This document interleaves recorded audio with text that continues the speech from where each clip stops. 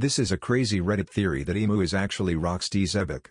The battle between Rocks, Garp, and Roger was stopped by the Marine admirals who took Rocks to Mary Geoise to rule the world.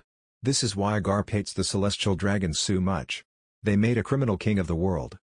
Also it explains why they erased Rocks instead of giving Garp credit for defeating him.